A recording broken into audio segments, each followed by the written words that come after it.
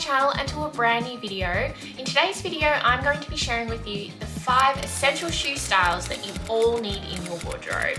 These are the shoe styles that I would replace in a heartbeat if for some reason they left my life, either from old age or illness. Now, over the years, some of my shoe purchasing decisions have been absolute disasters. And because I'm such a caring and loving person, That's absolutely true. I don't want you to make the same mistakes either.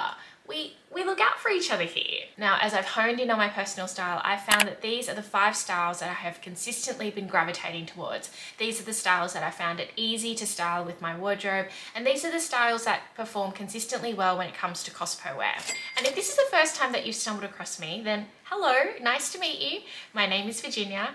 I have been on YouTube now for almost a year.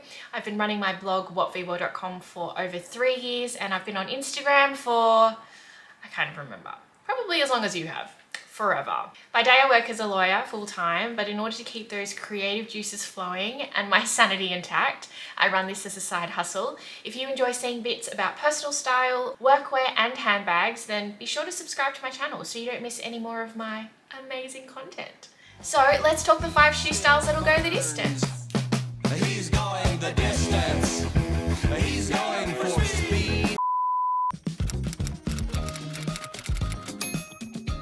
first essential shoe style category is the fancy flat. Now I appreciate this is a broad category, but we are a broad group of people and what I might consider to be fancy, most of you guys might consider to be really, really boring. Offense taken. I have two styles that I want to share with you in this fancy flat category. The first style is the loafer.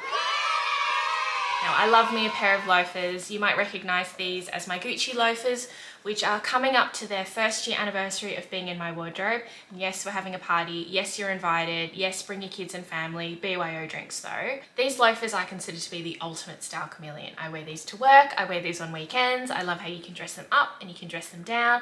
I love how they're polished, but they're comfortable. And I love how they straddle both the masculine and the feminine. Now, there are so many different styles of loafers that are available on the market, from high street all the way up to high end. In terms of high end options, there are so many iconic ones out there, like the Prada loafers or the Tod's loafers, but there are heaps of great quality ones that you can get from contemporary labels as well, like Tory Burch and Sam Edelman and Everlane. Regardless of your budget, you'll be able to find a classic loafer that you'll be able to easily integrate into your wardrobe, and I will link a few options down in the description section below. Now, if you do have your eye on these particular Gucci loafers, then I do have a hot tip for you, and that tip is to make sure that you get them resoled with the rubber sole because the original leather sole that these guys come in is super slippery and super smooth which means that if you are prone to accidents or you are clumsy like me then there is no doubt that you will end up falling on your bum on a flat footpath in the middle of say a busy shopping mall like Pitt Street Mall for example. I don't know, just saying as a hypothetical.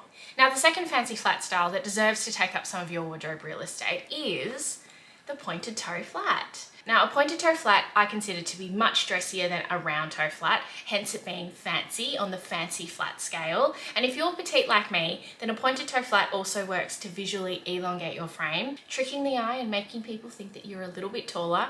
That is until people come right up to you and then they realize that you're really, really short. And similar to my loafers, I've enjoyed wearing my pointed toe flats to work as well as on the weekends. I have two styles here that I've pulled from my wardrobe that I've really loved wearing. The first style that I have here is the Nicholas Kirkwood Beya flat. These have a pointed toe and they've also got this metallic detail on the heel here which make them a little bit fancier.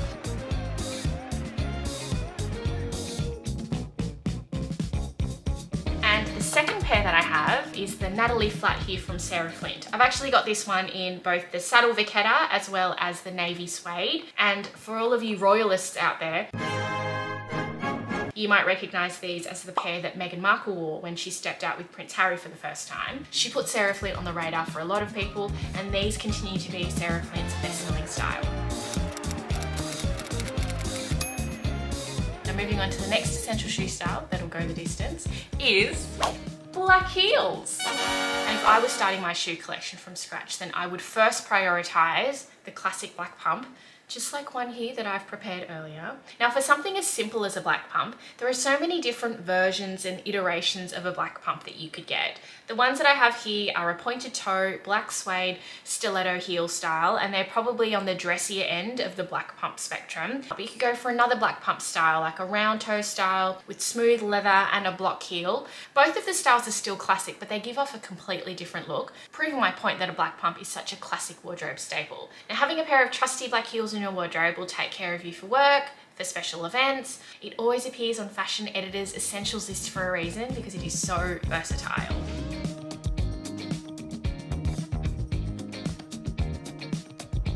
Have another style here that I wanted to share with you in the black heels category and it's a style that I finally checked off my wish list when I picked it up a couple of years ago and it is the Dior J'Adior slingbacks. They're a bit more of a modern take on your traditional black pump. They're a very comfortable and walkable six and a half centimeter heel. These days I've completely lost my appetite for wearing high heels. Now when it comes to black heels, I find that I've been gravitating towards styles that provide a little bit of a textural element. So the first pair that I shared with you are made of a black suede and this pair here from Dior is actually made from what Dior describes as a technical fabric. And so it's like a heavyweight woven material and it adds a little bit of interest to my outfits. While I might have started off during my early black heel wearing days to relying on the smooth calf leather options that are more the traditional ones that we're seeing in store. And I still really love those, but I also love how you can inject a little bit of your personal style and add a little bit of interest to your outfit, even with just a humble black heel that has a little bit of a textural component. Now the two styles that I've shared with you are both on the luxury end of the spectrum, but there are so many black heels out there that you can get from the high street and from contemporary labels as well, such as Nine West or Wittner if you're in Australia. They are a classic style and they are well worth the investment. Uh, now moving on to the next shoe style and depending on where you live in the world and the climate that you live in, you might be able to get away with wearing this year round. And the style that I wanted to share with you is the Chelsea boot. I've only got one pair of Chelsea boots in my wardrobe and they are a classic pair from RM Williams. What distinguishes a Chelsea boot from a regular boot is the fact that they've got this elasticized gusset here. Now personally I consider RM Williams boots to be the creme de la creme when it comes to Chelsea boots. RM Williams boots, for the benefit of those of you that don't live in Australia, enjoy a bit of an iconic status here. They have a bit of a history. Some consider these to be the national boot of Australia and they have gone up in price so much in recent times that they are now squarely within the luxury category. What started off as a workman's boot has now become very much a fashionable icon. Now I found these Chelsea boots to be incredibly easy to style. I think that they are very polished with the almond toe that they have here, not quite pointy and not quite round and I have had no trouble styling these for both work and on the weekends. They're incredibly comfortable, they're incredibly durable. I have these in the rubber sole and I would recommend that you also get them in the rubber sole. There's also the leather option, but that's very slippery, particularly if you are clumsy like me and fall flat on your face in Pitt Street Mall, for example, just for example, may not have happened in actual life. And I've had these now for almost two years and I'm not sure whether this is going to come up on camera, but a lot of the indentations that you see on the sole are still there. I mean, they've worn down, but only slightly. Considering how much I've relied on these, I'm really quite impressed. Another question I always seem to get asked with this style as well is whether I prefer the classic brown or the black color. And I tried both, but I obviously prefer the brown because they're in my collection. But I think the question stems from whether or not the brown has been easy to pair. And in my opinion, when it comes to the classic RM Williams boots, I actually think the brown color is better and I've had absolutely no issues with pairing these. I think that with an iconic shoe like this, you can't go wrong with sticking with the original. I will have these linked in the description section below, but I'll also link some other Chelsea boot styles that have been on my radar down below for you as well. If these aren't your cup of tea, then there might be others there that might be your cup of tea or your other beverage of choice.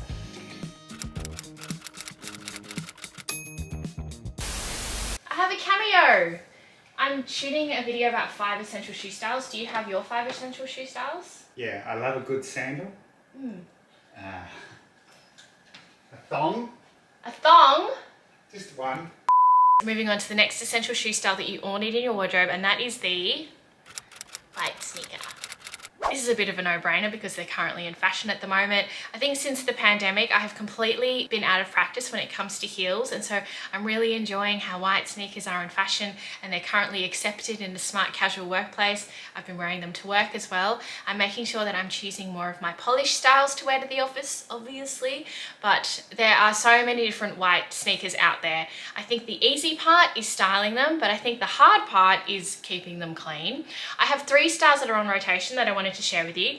The first style is my Nike Air Max ones. I think the style is almost as old as me, but I really love how they're a chunky shoe without being too chunky because there are lots of retro chunky style shoes there at the moment, like from New Balance and Reebok. Also just the Nike Dunk Highs, those old school basketball shoes. I really love the look of those, but they're really, really chunky and they overwhelm my petite frame. And so this is a really nice middle ground to get a little bit of that chunk, but not too much chunk. And these have been comfortable from the get-go. Sometimes with sneakers, you buy them and you have to wear them in, which is just baffling considering they're meant to be comfortable.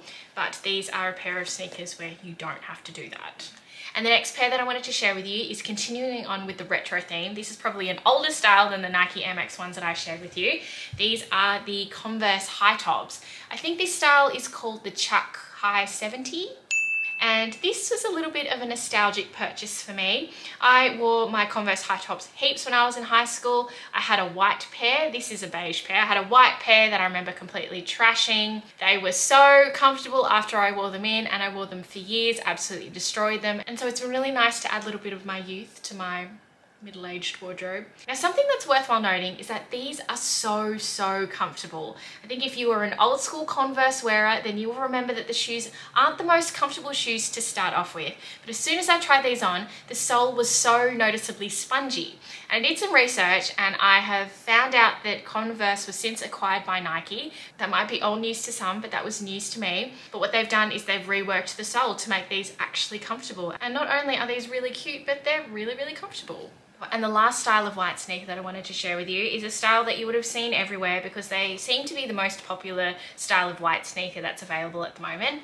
It is this pair here that I have from Everlane. This is a really polished minimal white sneaker and this is made from recycled leather. This one I consider to be my polished and dressy white sneaker and so I actually have worn these into the office. Looking at these up close they've already got some scuffs and things that I have to tend to probably after I finish filming this video but in terms of comfort compared to the two retro styles that I shared with you these are the least comfortable out of the lot. Doesn't mean that they're uncomfortable but it just means in comparison to the others they are just not as comfortable. They're very polished, but they're not as soft and squishy. And I found that to be the case with the other popular styles of white sneakers that are available at the moment as well. They're just not as plushy and as cushy as I would like. I like my sneaker to be a little bit spongy, I think. And the final shoe category that I have to share with you is a pair of sandals.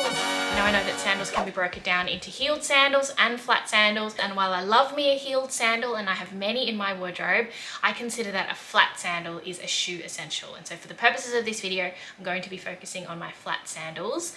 Now my flat sandal of choice is one that I'm currently wearing and so I'm just going to rip off my feet right now and show you is a pair of Birkenstocks. The Birkenstock Arizona is my jam. So much so that in the summer, I have this prominent Birkenstocks tan that doesn't fade until a couple of months after summer is over. It's probably about March or April where the Birkenstocks tan finally fades off my feet. It's gross, but it's also a really nice memento from summer. Now this pair I've had now for a couple of years and I find the style just really agrees with my feet and it's just an incredibly comfortable style to wear. Anyone who's owned a pair of Birkenstocks, you know what I'm talking about.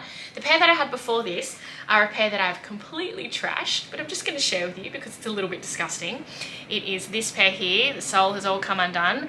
I bought these in Germany when I was there in 2017, pre-pandemic travel. But these are a patent burgundy style and I came back to Australia and everyone asked me how I got this colorway and I was able to do a little bit of a hair flick and tell them that I'm sorry I got these in Germany, they're not available here. I loved being able to say that. And before that I had a navy pair that have been completely trashed. They have been laid to rest now and I bought those on my honeymoon about seven years ago and so the Birkenstock Arizona has been my summer staple. They are on my feet for, you know, five to six months of the year because they are so incredibly comfortable. I love that they're in fashion now too. I know that for a long time people considered them to be a really ugly shoe. I know that at a particular law firm that I used to work at, in the casual dress code policy, they even said no Birkenstocks. But I remember breaking those rules anyway when I was heavily pregnant because Birkenstocks were the only things that agreed with my feet. Now when I'm not wearing a pair of my Birkenstock Arizonas and I also have another pair of summer sandals here that are on rotation,